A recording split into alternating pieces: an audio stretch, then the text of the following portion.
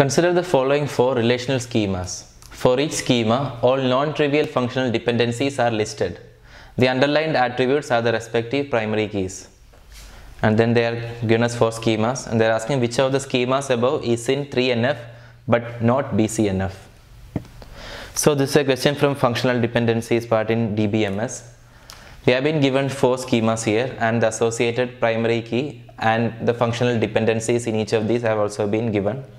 And they're asking which of these in, is in 3NF but not BCNF. So let's go through each one by one. So before that, for a schema to be in 2NF, it should satisfy this property such that none of the functional dependencies are of the form partial key to a non-key attribute. This is the condition for 2NF. The condition for 3NF is that none of the functional dependencies should be of the form from a non-key attribute to a non-key attribute.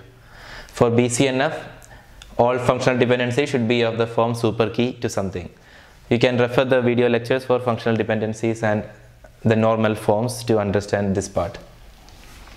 Now let's go through one each of these one by one.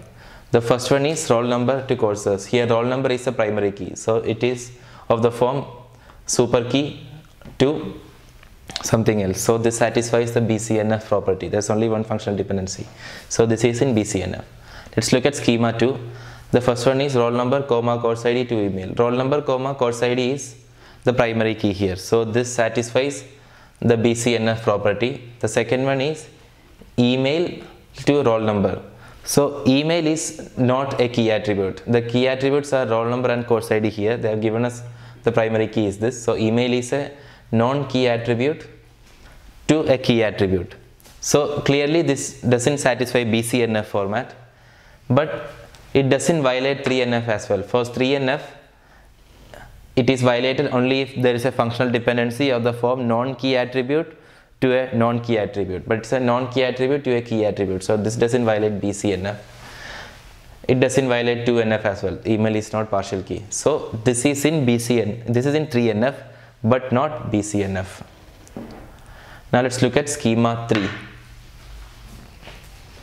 the first one is roll number comma course ID to marks comma grade. so this is of the form super key to something else so this is BCNF the second one is marks to grade. So marks is not a key attribute. Key attributes are roll number and course ID here.